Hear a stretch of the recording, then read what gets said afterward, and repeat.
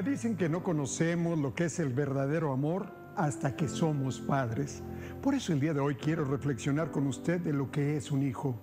Un hijo es un ser que Dios nos prestó para hacer un curso intensivo de cómo amar a alguien más que a nosotros mismos, de cómo cambiar nuestros peores defectos para darle los mejores ejemplos y de nosotros aprender a tener coraje para vivir por ellos. Sí, eso es ser padre o madre. Es el mayor acto de coraje que alguien puede tener, porque es exponerse a todo tipo de dolor, principalmente de la incertidumbre de estar actuando correctamente y del miedo a perder algo tan amado. Pero perder, como no son nuestros, fue apenas un préstamo, el más preciado y maravilloso préstamo ya que son nuestros solo mientras no puedan valerse por sí mismos. Luego le pertenecen a la vida, al destino y a sus propias familias.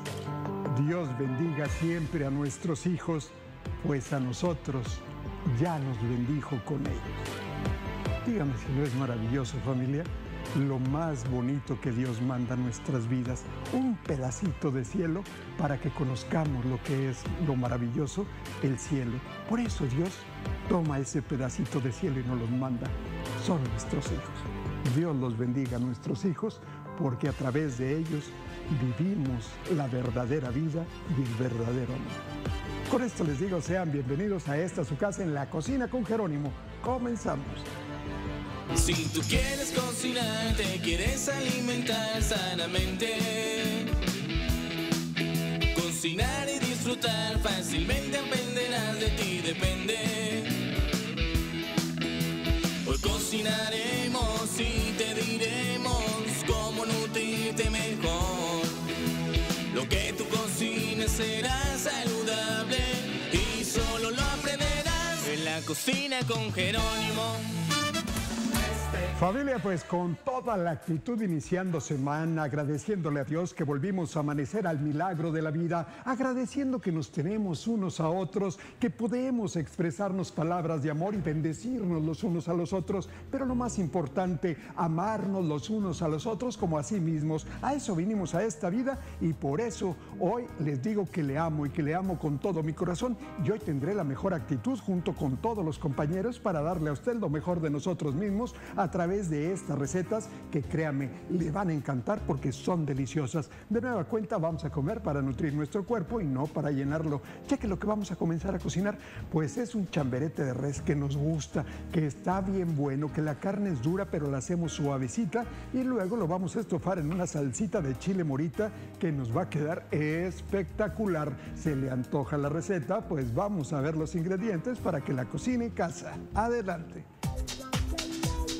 Los ingredientes para preparar el chamberete de res en salsa de chile morita son un kilo y medio de chamberete de res, 500 gramos de tomate rojo, media cebolla, cuatro dientes de ajo, seis chiles morita, dos chiles guajillos, cinco hojas de laurel, tres ramas de tomillo, media barra de mantequilla, media taza de vinagre de chiles jalapeños, 10 pimientas gordas, 2 pizcas de clavo de olor, 2 pizcas de comino molido, sal al gusto y para complementar y servir, arroz rojo y tortillas amarillas.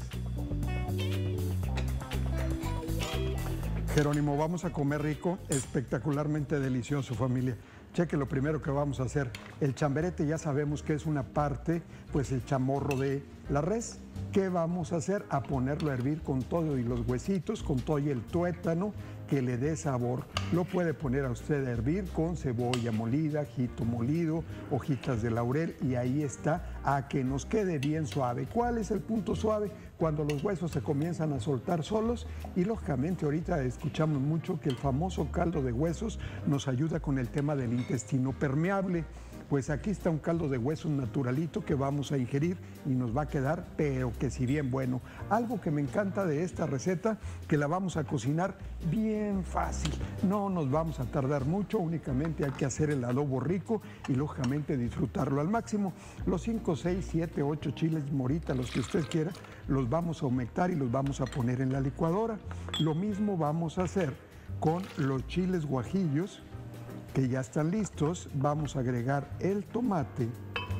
Qué receta tan buena y en qué momento la vamos a cocinar. Hojitas de laurel, vamos a poner las rebanadas de cebolla, vamos a poner el ajo, luego lo que vamos a poner son las pizcas de clavo de olor que le da un sabor maravilloso, las pimientas gordas, vamos a poner también el comino, y vamos a poner el tomillo. ¿Listo? Ahora le vamos a poner el vinagre, la chalupa y bueno, muchachos. ¿A quién le gusta jugar la lotería? ¿Sí le gusta jugar la lotería? Qué rico, ¿verdad? Cuando se pone uno con las abuelitas, la mamá, a jugar a la lotería. Yo les decía, yo doy la baraja, pues lógicamente, para echármela de abajo y de medio y de todos lados a ver si ganaba yo. No es cierto. Pero comienzan, comienzan las señoras, ¿verdad? No, está haciendo chapuza porque siempre gana ella, de seguro se las está echando, ¿verdad? Oiga, no, pues ahí está. Vamos a moler esto, que nos quede bien rico y que se haga un adobo deliciosamente rico. Ahí vamos. Que muela perfectamente todo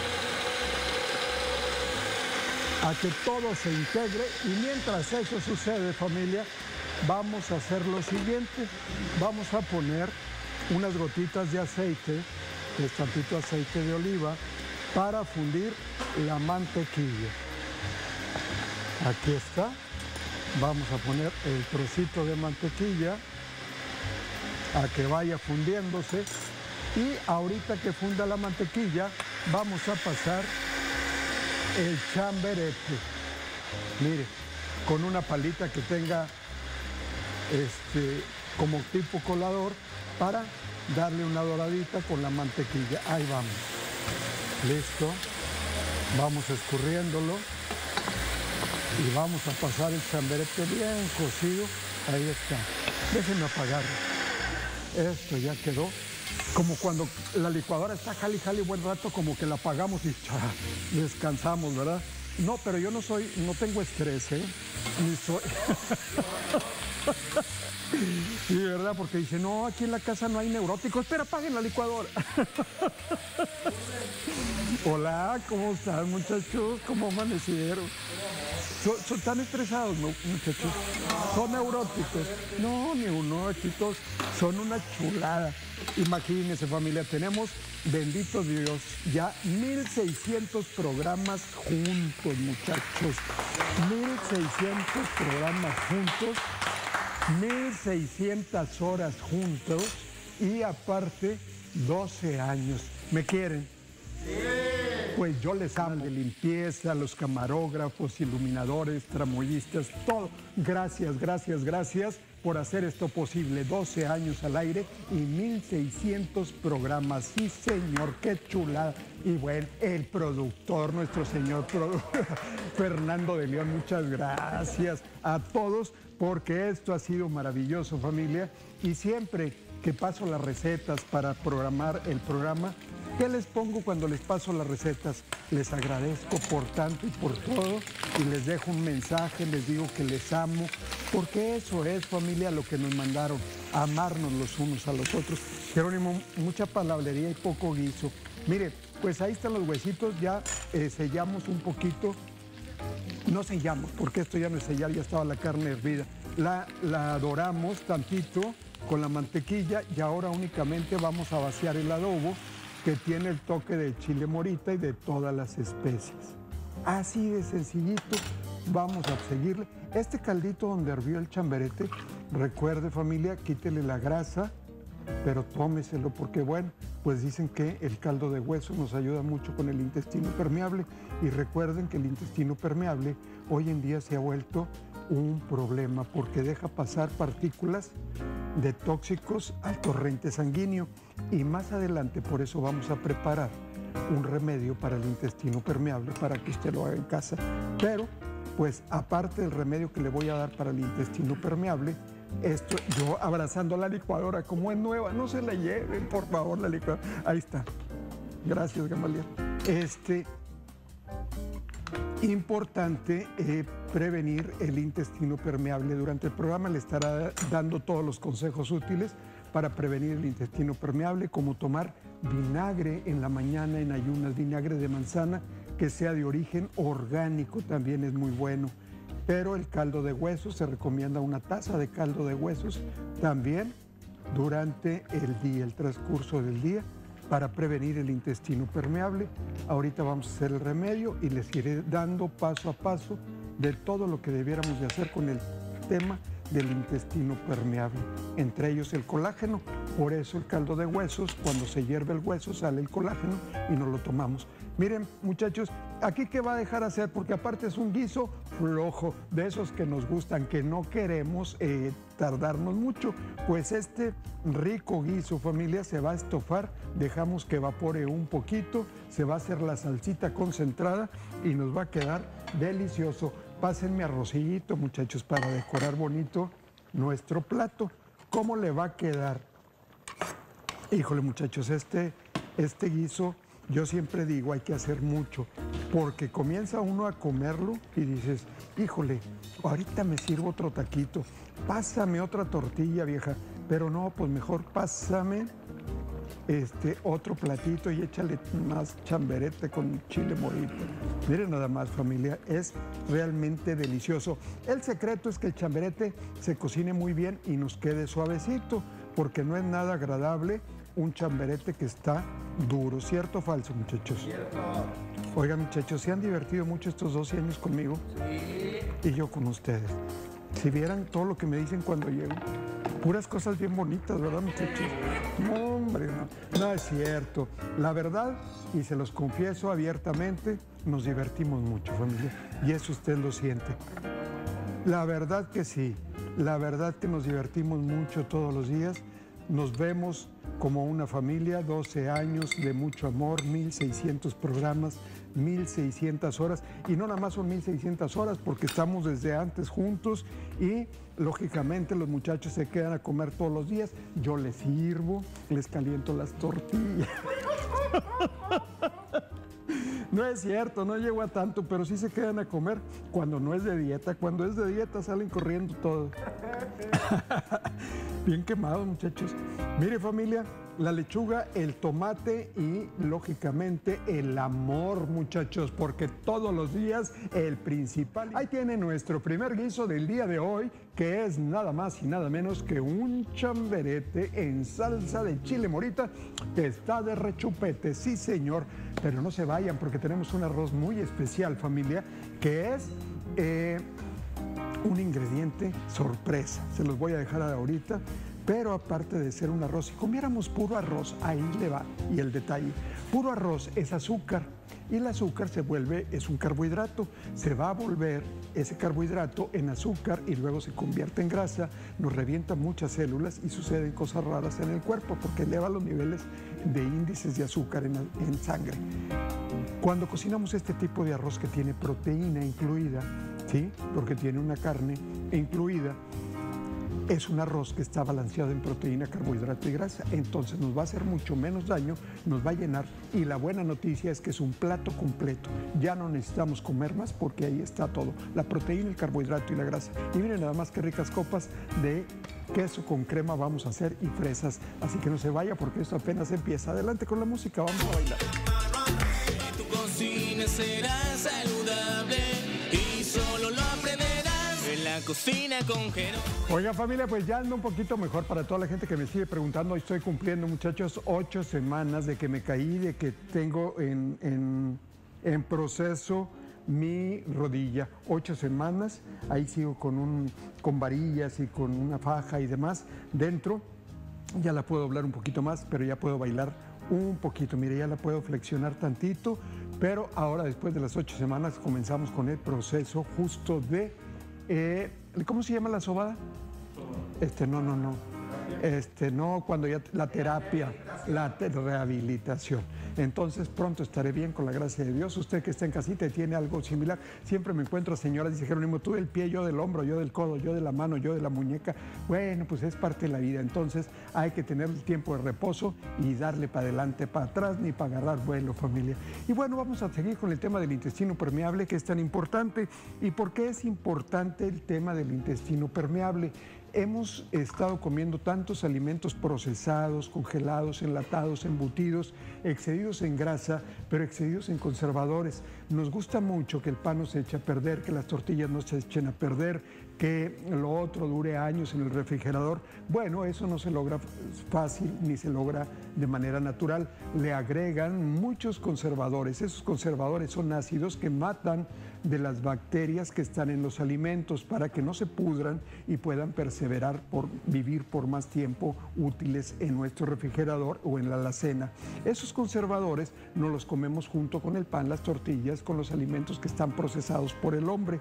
Cuando llegan al intestino, esos eh, conservadores también matan las bacterias buenas, matan enzimas, matan todo lo bueno que hay en el intestino, como la macrobiota, que son las bacterias buenas, y comienzan serios problemas. Aparte, todas las grasas requemadas que comemos, excesos de carbohidratos y de azúcar, entonces el intestino, pues es, eh, el intestino, pero tiene membranas. Esas membranas comienzan, haga de cuenta que es como un coladorcito, son pequeñas fibras eh, que comienzan a dañarse y comienzan a pasar al torrente sanguíneo, al resto del organismo, pequeñas ínfimas partículas, gotitas, pero son de tóxicos muy potentes que comienzan a envenenar el cuerpo y a generarnos diferentes tipos de enfermedades. Ese es el famoso intestino permeable que hoy en día ya se volvió un común denominador ¿Con qué dicen que lo podemos prevenir? Tomando el vinagre en ayunas de manzana que sea orgánico, el famoso caldo de huesos. Pero este remedio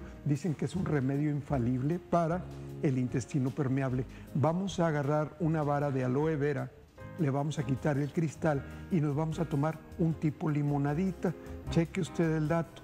Vamos a poner el aloe vera, vamos a poner el jugo de dos limones.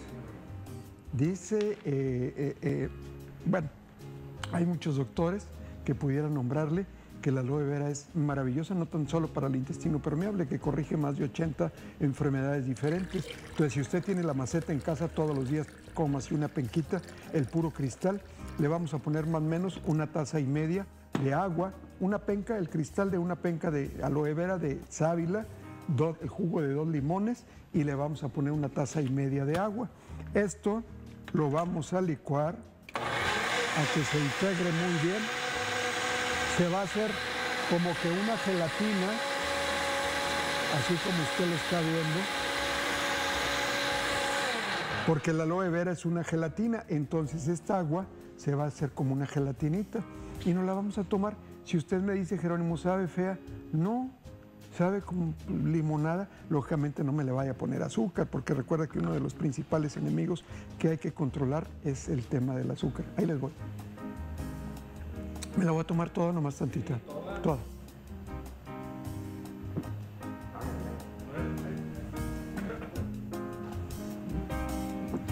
Yo le diría una cosa, hasta está, hasta, sí, pues no quiero el intestino permeable, muchachos, quiero intestino para muchos años.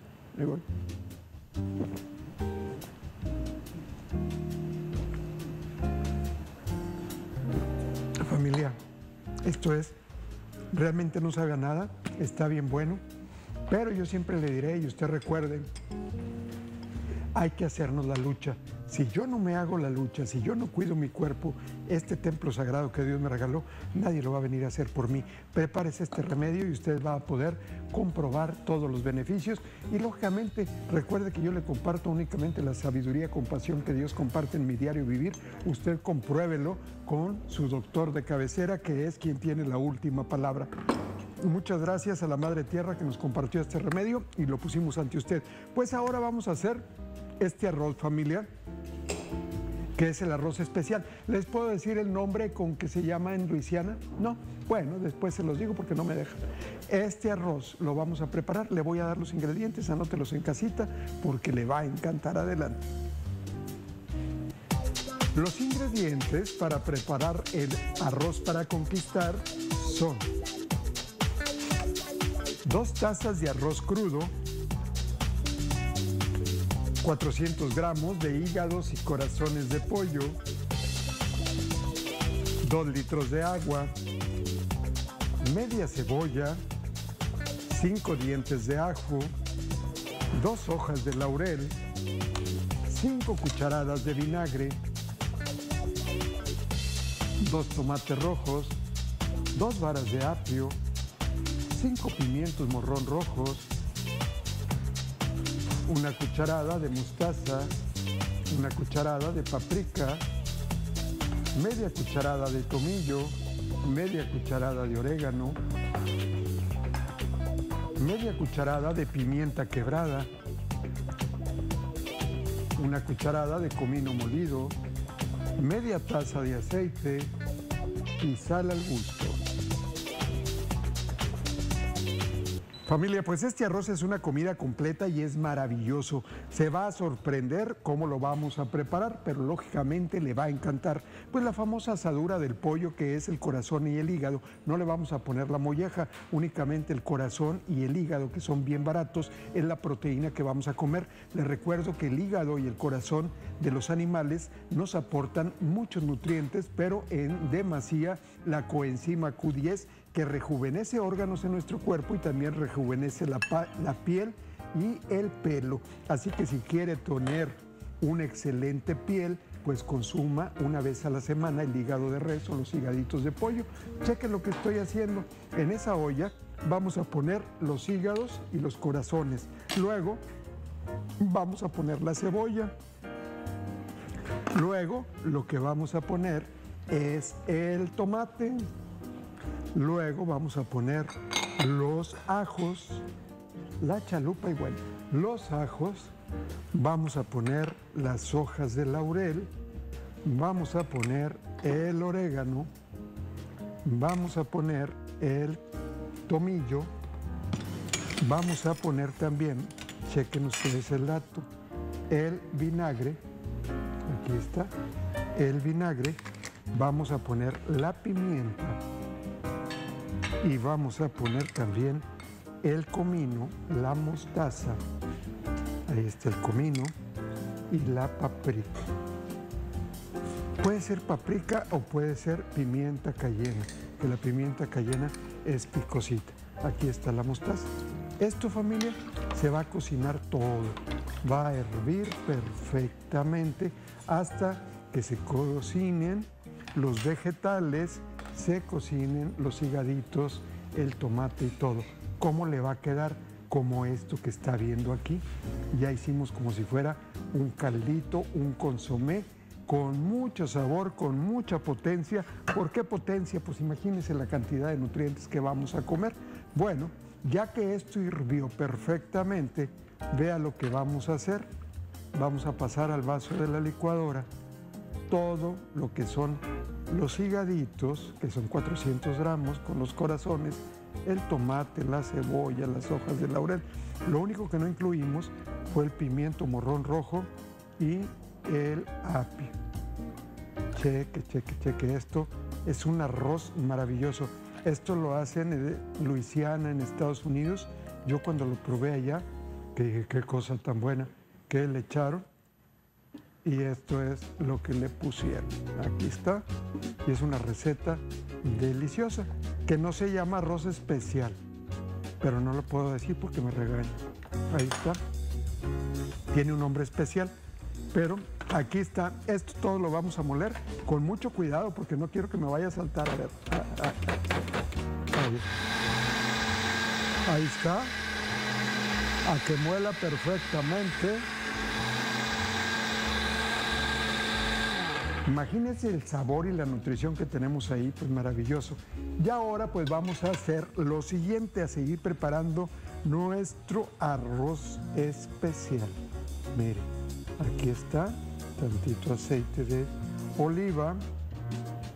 Oigan, ¿es de oliva y apopeya? Vamos a dorar el arroz en el aceite, pero junto con el arroz lo vamos a dorar con los cubitos de pimiento morrón rojo, y vamos a ponerle, ahí voy, ahí voy, déjenme prenderle. Aquí está, los cubitos de pimiento y el apio picadito. Es un arroz verdaderamente exquisito. Se va a coronar con las palmas de oro cuando usted lo prepare en casa, porque verdaderamente le va a fascinar a todo mundo y nadie se va a poder resistir a decirle, papito, mamita, sírveme otro platito porque esto está bien bueno. Con el vinagre, familia, pues el arroz esponja un poquito, porque como es un arroz que tiene la proteína molida, pues tiende a hacerse el arroz denso. Entonces, no espere un arroz esponjoso, es un arroz que mire, le va a quedar como está quedando esto. Es un arroz espesito, lógicamente porque tiene la proteína, tiene el hígado, entonces no espere que quede como un arroz vaporoso o de película. Mire, listo, aquí vamos, va a dejar en casa que dore bien doradito su arroz, el apio y el pimiento. Ya que esto doró, pues vamos a vaciar ahora sí lo que licuamos. Y lógicamente pues no tiene la mejor apariencia, pero sí tiene un sabor y una nutrición espectacular. Listo, ahora nada más nos falta agregar la salecita y déjenme probarlo muchachos porque esto está maravillosamente rico. Ahí lo tapamos y lo dejamos que se vaya cocinando a fuego lento hasta que el arroz haya cocido. Déjenme traerme un, aquí vamos, un platito. Y sabe que le recomiendo a lo mejor este arroz, como es un arroz que le digo no tiene la mejor apariencia, por eso se llama como se llama, este, lo que puede hacer, ponerlo en un vasito y voltearlo para que le quede servir. Ahí le va. Mm, con buen provecho, buena salud, vamos a divertirnos y ahorita regresamos. Adelante. Lo que tú cocines será saludable cocina con Jerónimo. Oiga familia, pues me siento más entumido muchachos, como que hoy no puedo bailar. Quisiera, quisiera desplayarme, dicen los muchachos, todos los días estás entumido. No, todos los días, pero la mejor actitud, esa no me la quita nadie, porque a final de cuentas cada momento lo vamos a vivir al máximo. Familia, pues la torta española nos encanta a todo mundo y dígame si no es cierto y es riquísima. Pues el día de hoy vamos a hacer la torta española con más vegetales, lógicamente la vamos a poner su papa, le vamos a poner su pimiento, le vamos a poner brócoli, nos va a quedar exquisita, pero lógicamente la vamos a tratar de hacer mucho más nutritiva de lo que ya es. ¿Qué le parece si anota usted los ingredientes para que los anote en casita? Adelante. Los ingredientes para preparar la torta española de vegetales una taza de brócoli rallado, un pimiento morrón rojo, una papa en cubitos, una taza de queso cheddar, cinco huevos, una cucharada de harina de avena, una cucharada de pimienta quebrada, un tercio de taza de aceite de oliva, para complementar y servir, hogazas de pan rústico, rebanadas de tomate y hojas de lechuga. Familia, pues esta torta es maravillosamente rica. ¿Qué tenemos que hacer? Me voy a traer el recipiente donde vamos a mezclar todo esto. Mire, el brócoli, ahorita lo rayamos, pero lo primero que voy a saltear tantito son los pimientos con tantito aceite de oliva. Vamos a dorarlos tantito para que tomen un sabor bien rico. Bien picaditos, pero chiquitito, mire. Si ve el cuadrito del, brócoli, del brócoli, del pimiento rojo, lo picamos bien chiquitito para que nos dé un sabor delicioso. Entonces, únicamente, ahí está, que dore tantito para que nos regale ese sabor caramelizado que es típico de los pimientos. Ya que doró tantito el pimiento, lo vaciamos en el recipiente. El brócoli vamos a hacer exactamente lo mismo. Ponemos tantito aceite de oliva Y el brócoli lo vamos a dorar también. Ya me les adelanté y ya está doradito. Mire, el brócoli va rayado. Entonces, listo. Vamos a dorarlo también tantito. El brócoli rallado también toma un sabor ahumado delicioso y lógicamente nos va a encantar a todo mundo en casita. Entonces, insisto, yo ya me les adelanté. Voy a poner el sartén con tapa donde vamos a hacer nuestra nuestro eh, torta española. Mire, ahí está el brócoli. Ahora las papas también están ya picaditas, pero las papas no las doré. Las papas, familia, las puse a cocer a vapor con todo y la cáscara, pero también en cubitos bien chiquitos. Ahí está, el sartén también ya está listo, gracias. Y ahora lo que vamos a hacer es lo siguiente, poner tantita pimienta quebrada, vamos a poner los huevos, ahí está, vamos a poner la cucharita de harina de avena, vamos a poner la salecita, y tantita pimienta. Pásame la pimienta, se me quedó de aquel lado. Gracias, qué amable. Gamaliel. Ahí está, pimienta quebrada. Y ahora vamos a mezclar y ahorita agregamos el quesito cheddar. Es una torta bien rica, torta española, deliciosa. Mándeme. A Omi Omi le hacemos una especial, claro que sí, con mucho gusto. Aquí estamos, mire, Listo. Y ahora le vamos a poner tantito queso cheddar. Qué rico, ¿verdad? Bueno, voy a guardar tantito para decorar. Ahí está. Listo. Y ahora lo vamos a poner. Recuerde que las tortas españolas se ponen con bastante aceite de oliva en el sartén. Lleva mucho aceite Aquí está. Y la voy a hacer delgadita para mientras contesto una pregunta, a ver si tenemos la oportunidad de que se cocine. Insisto, lleva y se cocina con suficiente aceite de oliva. Entonces vamos a, aquí está, vamos a poner para que se vaya cocinando y a ver si tenemos la bendición de que se cocine mientras seguimos platicando para que vea usted cómo queda de bueno. Aquí vamos. Bueno, vamos a ir leyendo la pregunta. Esto siempre lo tiene que hacer en un sartén con tapa familia para que lógicamente se cocine de arriba para abajo y de abajo para arriba. Ahí vamos. Listo. Ahí está. La vamos a tapar y vamos a esperar a que se vaya cocinando. Familia, la pregunta, nos pregunta Susana Flores de aquí, de Monterrey, Nuevo León, y nos dice lo siguiente. Susana, gracias por escribirnos a toda la gente de Nuevo León, de Monterrey, gracias por vernos y gracias por estar conectados de corazón a corazón. Dice Jerónimo, ¿Cómo se debe de lavar el pelo? Es cierto que se debe de dar un masaje al cuero cabelludo y cómo se debe de hacer, cada cuándo se debe de lavar el pelo. Bueno, el pelo, dicen los especialistas en el tema, debiéramos de lavarlo todos los días, ¿sí? Pero hay quien decide lavárselo cada tercer día. Depende qué tanto, eh, tan grasoso tenga su cuero cabelludo. Si el cuero cabelludo es muy grasoso y lo lavamos cada tercer día o cada cuatro días, es muy probable que comience a caerse en abundancia, porque le recuerdo que la hebra capilar es el folículo la hebra capilar, pues es el pelo que está enterrado en el folículo capilar y regularmente se mueve. Cuando comienza a haber grasa en el folículo que se libera a través del folículo, el pelo comienza a adelgazarse si no sale la grasa. ¿Por qué? Porque hoy en día utilizamos muchos fijadores de pelo y no dejamos que el pelo se esté moviendo. Cuando el pelo se mueve abundantemente, de la parte de abajo libera la grasa entonces, por eso hay que tallarlo y sí hay que darle un masaje. Entonces, ¿cómo debemos de dar ese masaje?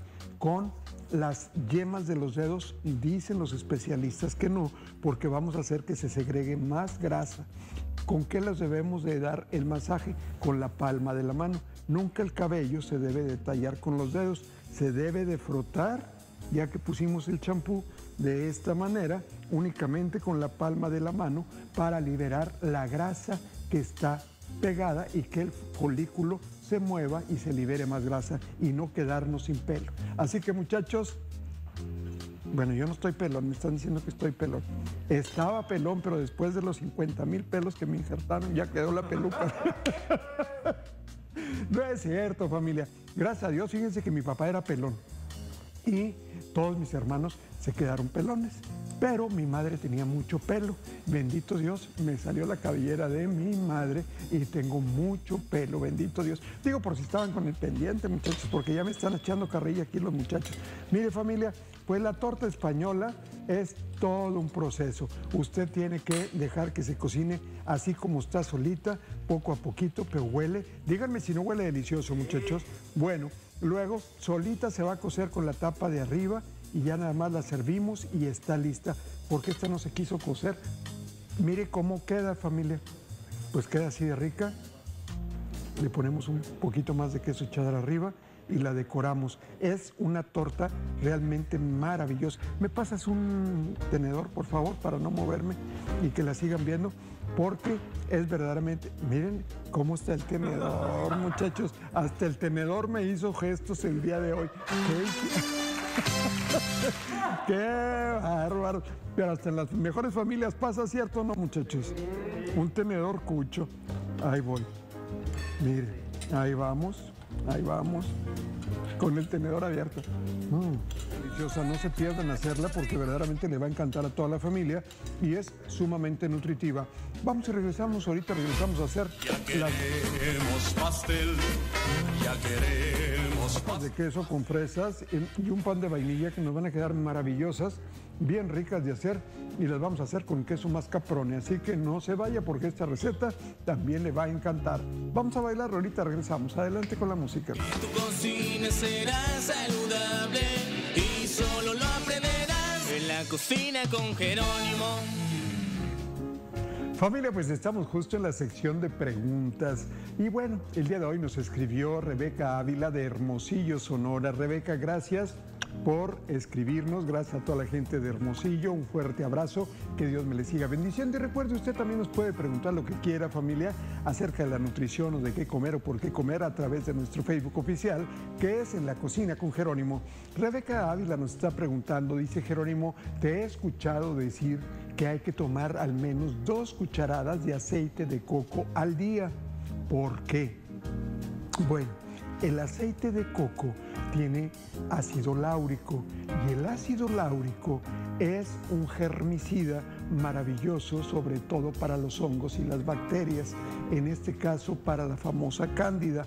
La cándida es un hongo que tenemos en demasía en nuestro cuerpo y nos genera gordura, flacidez, múltiples enfermedades y no sabemos cómo matarlo. Bueno, pues el ácido láurico mata justo, familia, a la cándida, ese hongo que no queremos tener, y también el aceite de orégano. Así que a tomar dos cucharadas de aceite de coco todo el día para matar la cándida. Pero también le recuerdo familia, consúltelo con su doctor de cabecera porque lo único que nosotros le damos como recomendaciones son eso, meramente recomendaciones.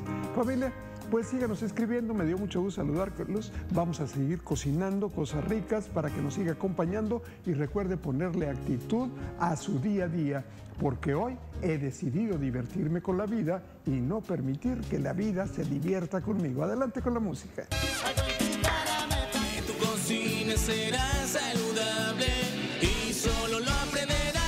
La cocina con Jerónimo. ¡Ay, qué rica quedó esa receta! Y hablando de cosas ricas, ¿qué necesita una mujer para ser exitosa? Cinco cosas. Número uno, un marido que te quiera mucho. Número dos, un marido que tenga mucho dinero. Número tres, un marido que sea bien mandilón. Número cuatro, un marido que le guste cocinar. Y número cinco, que los cuatro maridos no se conozcan.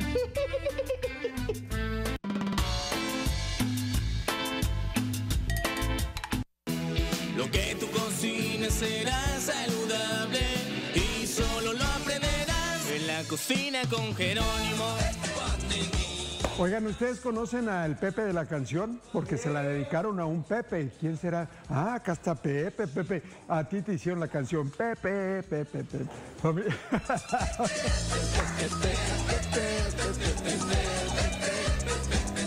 Pepe, qué, qué dichoso eres de tener tu canción, Pepe.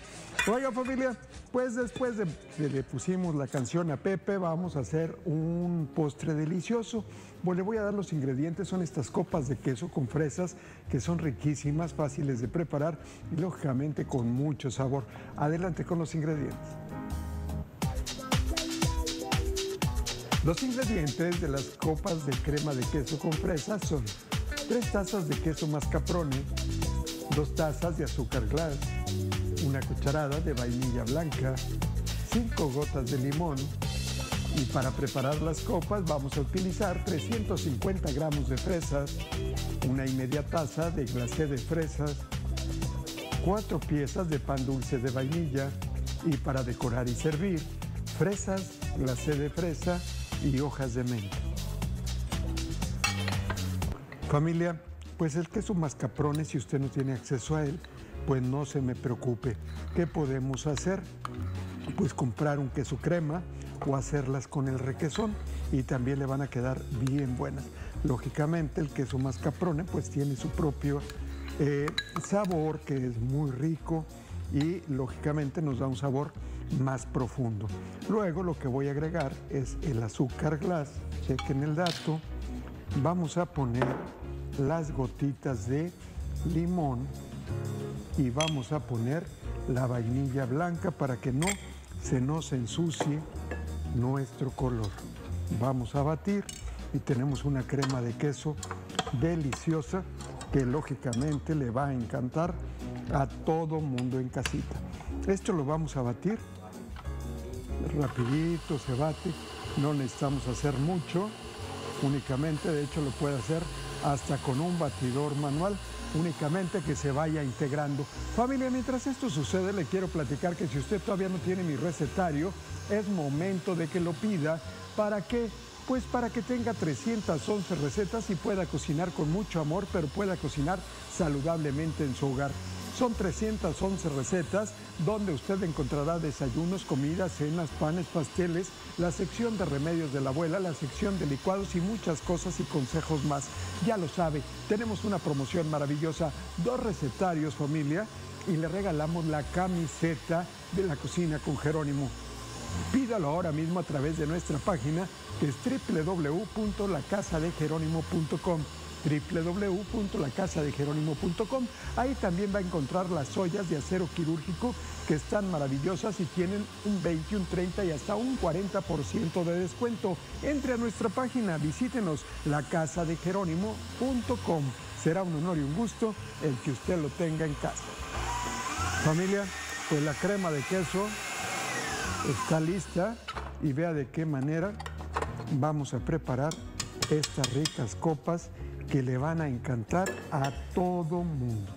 Mire, lo primero que vamos a hacer, y usted lo va a ir viendo paso a paso. Miren, muchachos, hasta los tomates me los dejaron aquí, dijo Jerónimo, para que no estés pidiendo tomates. Ahí está. Mire, vamos a poner en la parte de abajo, gracias Gamaliel, qué amable. Vamos a poner esta crema de queso que es deliciosa. Cheque usted el dato. Vamos. Luego, las fresas, familia, ya las tengo aquí. Les vamos a poner el glacé de fresas, que es esta gelatinita roja, que nos queda siempre bien deliciosa. Aquí vamos. Vamos a ponerle, es una gelatinita que tiene sabor a fresas y que queda muy rica. ¿Listo?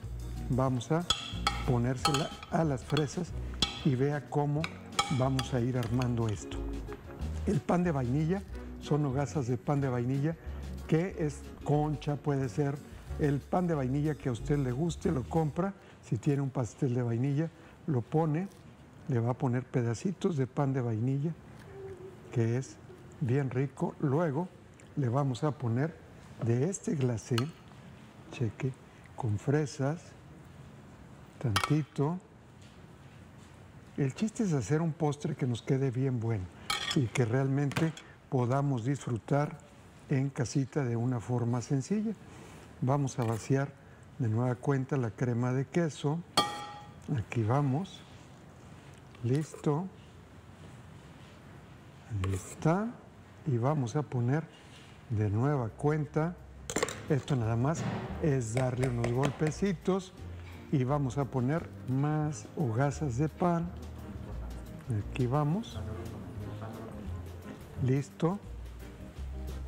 Aquí está. Y ahora ponemos de nueva cuenta tantita crema y luego le pondremos la fresa. Fíjese nada más qué rico. Ahí está. Y ahora sí, decoramos. Las puede hacer con tantas capas como usted quiera, pero vea qué bonito y qué delicioso queda esto. Voy a decorar una nada más. Usted en casa, pues sigue preparando todas las que quiera. Dígame si no quedó maravillosamente bonita y riquísima. Bueno, pero el día de mañana, familia, no se pierda esta receta.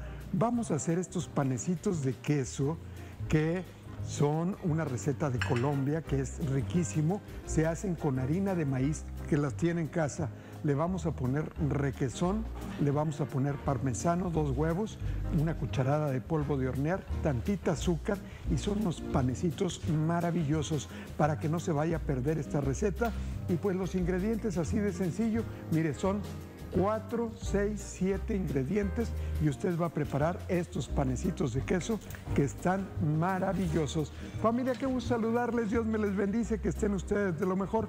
Buen provechito, buena salud y saben que les amo y con todo mi corazón. Hasta mañana.